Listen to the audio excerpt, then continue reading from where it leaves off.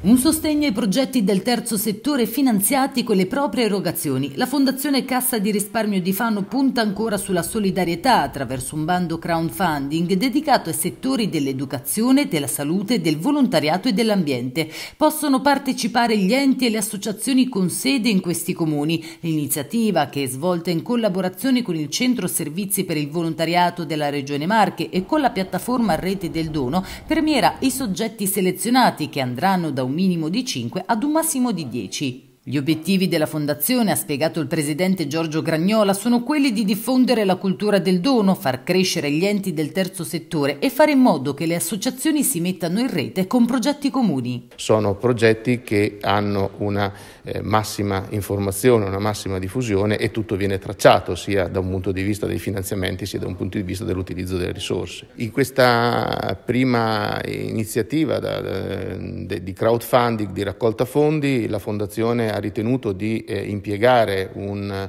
un, importo di 50.000 euro, oltre a sostenere tutti i costi che eh, questa iniziativa eh, produce. Ci sono due fasi. La prima fase è quella che è partita con la pubblicazione del bando, la cui scadenza è l'11 di giugno, dopodiché la Fondazione valuterà i progetti che sono arrivati e dal primo di ottobre fino al 31 dicembre eh, sarà possibile per chiunque vorrà contribuire e partecipare al finanziamento di questi progetti inserirsi nella piattaforma e eh, finanziare l'iniziativa. La Fondazione contribuisce con il raddoppio dei fondi fino ad un massimo di 5.000 euro o 10.000 euro a seconda delle iniziative e dei progetti che verranno pubblicati.